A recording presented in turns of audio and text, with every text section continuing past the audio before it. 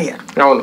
దానికి తోడు ఆ చివరిలో ఏదైతే కాప్ రిజర్వేషన్ కాన్సెప్ట్ అది ఇటుకొచ్చింది. అట్లాగే మోడీకి వ్యతిరేక చేసిన వ్యాఖ్యలు వ్యక్తిగతంగా. అది ఆర్ఎస్ఎస్ సింపతైజర్లు. బీజేపీ ఓటర్ కూడా కాదు ఫస్ట్ సింపతైజర్ అతను. సెకండ్ బీజేపీ కార్యకర్త. వీళ్ళ అందరినీ హత్య చేసింది. ఈ హర్ట్ అయిన ప్రతి ఒక్కడు కూడా ఈయన్ని ఓడించి కూర్చోబెట్టాలన్న కసితో వేశారు. అంతేగాని ఈ మేనిఫెస్టోలు ఇవి అందులో ఒక ట్వంటీ పర్సెంట్ ఇదై ఉంటాయి. ఒక ట్వంటీ పర్సెంట్ ఓటింగ్కి. Hmm. మిగతాది ఈయన మీద వ్యతిరేకత. ఆ రోజున రాత్రిపూట్ల పాప జలీల్ ఖాన్ అనుకుంటా. పెద్ద రచ్చ చేసేదాకా ఎవ్వడికి అర్థం కాల. జలీల్ ఖాన్ బాగా కనిపెట్టాడు. ఫస్ట్ మహిళలు రాత్రిపూట పదిన్నర పదకొండు పన్నెండింటి దాకా క్యూ లైన్లో ఉంటే ఎనిమిదింటికో ఏమో జలీల్ ఖాన్ ప్రెస్ మీట్ పెట్టి ఎలక్షన్ కమిషన్ అరాచకం చేస్తుంది ఆపేయాలి ఇప్పటికిప్పుడు. ఇంతకు మించి ఓట్లు వేయించుకోకూడదని చెప్పాడు. అదేందో ఎవడైనా ఓట్లు వేయమని చెప్తారు కానీ ఏదంటావు? మహిళలు అందులో మీకు అదేమంటారు దాన్ని?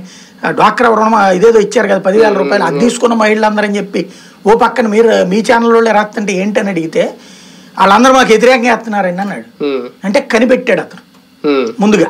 కనిపెట్టడంతో అతను వెంటనే అర్జెంట్గా ఆపేయాలని ప్రయత్నించాడు. ఎందుకంటే ఆ మహిళలే రివర్స్ అయ్యారు అన్నటువంటి విషయం అర్థమైంది ఆయన అప్పటికి కానీ తెలియలేదు. అప్పటికి కూడా అందరూ ఏమనుకున్నారు? పదివేలు తీసుకున్న వాళ్ళందరూ ఎగబడి ఓట్లేస్తున్నారు అనుకున్నారు. కానీ ఆ మహిళలు రివర్స్ చేస్తున్నారని అప్పటిదాకా తెలియదు. వైసీపీ వాళ్ళకి కూడా తెలియలే. ఇంత భారీగా వస్తుందని వైసీపీ వాళ్ళు కూడా ఊహించుకోలేదు. ఆ రోజున జరిగింది ఆ టెంపర్మెంట్.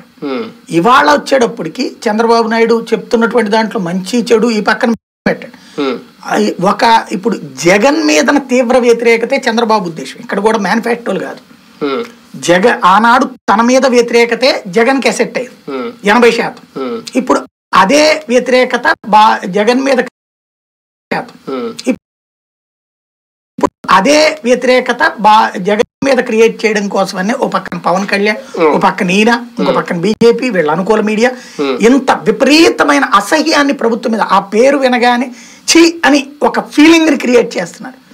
ఈ ఫీలింగ్ ద్వారా వచ్చే ఓటుకి ఇది యాడెడ్ అడ్వాంటేజ్. అది వీళ్ళేస్తున్నది. అంటే ఒకటి జగన్మోహన్ రెడ్డి గారి మీద వ్యతిరేకత టీడీపీని గెలిపించేస్తుందా? లేదంటే టీడీపీ మీద అభిమానంతో ఓట్లు వేసేస్తారా జనాలు? ఈ రెండు పక్కన పెడితే ప్రజలైతే ఒక ఫ్రెష్నెస్ కోరుకుంటున్నారు కొత్తదనం కోరుకుంటున్నారు. ఆ రెండు కూడా జగన్మోహన్ రెడ్డి గారిలో కనిపించినాయి రెండు వేల పంతొమ్మిదిలో. ఆయన గెలిచాడు అనేది ఒక ఆస్పెక్ట్లో ఆయన గెలుపుకి కారణం. ఇప్పుడు